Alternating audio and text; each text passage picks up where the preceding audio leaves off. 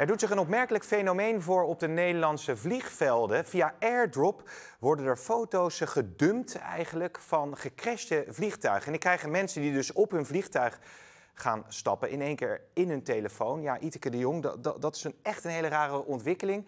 Het eh, begon met een zaak in Rotterdam. Hè? Hoe zit dat? Nou, vorige week is er een uh, man van 18, die heeft vlak voordat hij met Transavia weg zou vliegen, heeft hij dus een foto van een gecrashed vliegtuig met de anderen die dus die mogelijkheid in hun telefoon hadden, via die airdrop, die foto gedeeld. Uh, nou ja, die man is opgepakt, want ja, een beetje raar natuurlijk. Mensen raakten in, in paniek. En ehm, die meneer die is uh, aangehouden en die mag nu vijf jaar niet, niet meer met uh, Transavia vliegen. Ja. En uh, zondag werd er een tweede geval gemeld. In op Schiphol, op een vlucht van Emirates, hetzelfde laken en pak. Alleen daar stond nog een bedreigende tekst bij. Oké, want de marechaussee is dat nu met het Openbaar Ministerie aan het onderzoeken. Ja, dus ik heb het gevoel dat die zaak van op Schiphol wat ernstiger genomen wordt en dat de zaak in Rotterdam met de 18-jarige man, dat dat meer een qua ja. jongensstreek wordt gezien. Maar goed, beide zaken zijn nog in onderzoek. Maar wat nu zo opvallend is, eigenlijk hebben we hier nog nooit echt hebben we dit gehoord. En nu twee gevallen in één week.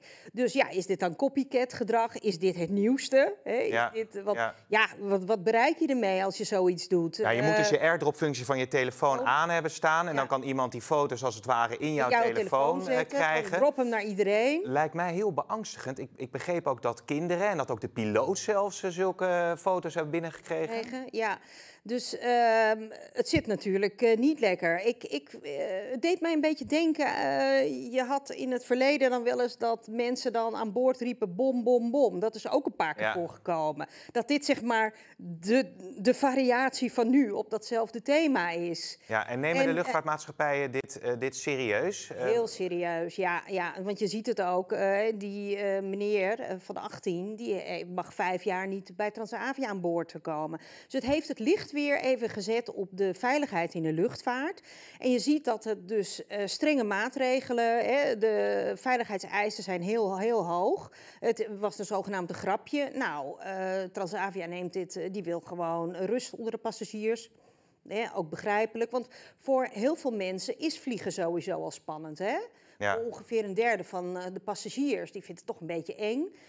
En um, dus er staan gewoon uh, strenge straffen op als er zoiets gebeurt. Want anders ben je natuurlijk ook elke week ja. ben je bezig met dit soort grappenmakerij. En, en jij schetste wel, je hebt natuurlijk vaker onrust uh, gehad boord. aan boord. Uh, maar dan is het vaak om passagiers die bijvoorbeeld een drankje te veel of hebben... Ja. of agressief worden tegen ja. stewardessen. Ja, je ziet, ik heb zojuist even de cijfers bekeken. En in juli waren er zeg maar zo'n rond de 25 incidenten, lichte incidenten en zwaardere incidenten. En dus eh, in totaal ongeveer 50.